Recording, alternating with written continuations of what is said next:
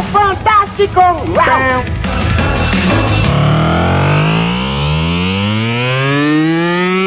Charlie Brown.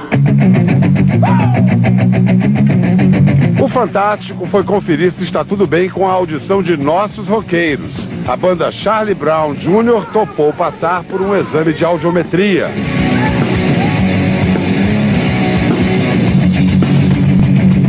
Som aqui ultrapassou 120 decibéis. Isso equivale realmente a uma turbina de avião. Antes do teste, um aviso. A tolerância máxima recomendada pelos médicos é de 85 decibéis.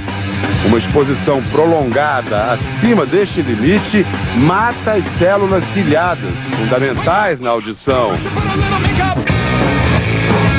Então, tudo pronto para o exame? Colocar esse fone no seu ouvido, você vai ouvir uma série de apitos. Esses apitos começam um pouco mais altos, vão ficando cada vez mais baixos. Toda vez que você ouvir o apito, mesmo que ele seja bem baixinho, você aperta e solta esse botão. Tudo bem. Ok?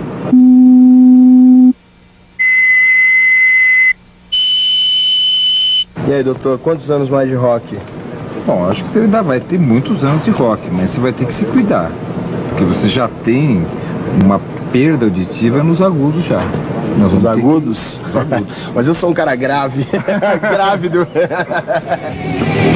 Assim como o chorão, todos os outros integrantes apresentam uma perda na região dos agudos. O primeiro sintoma de que, se continuarem nesse ritmo, vão ter problemas daqui a alguns anos. O que se saiu melhor de todos foi o baixista.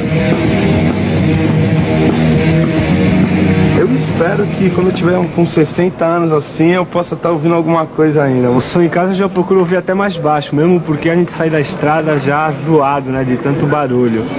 É só rock and roll, mas faz um estrago. Para manter a audição, só tem um jeito: prevenir.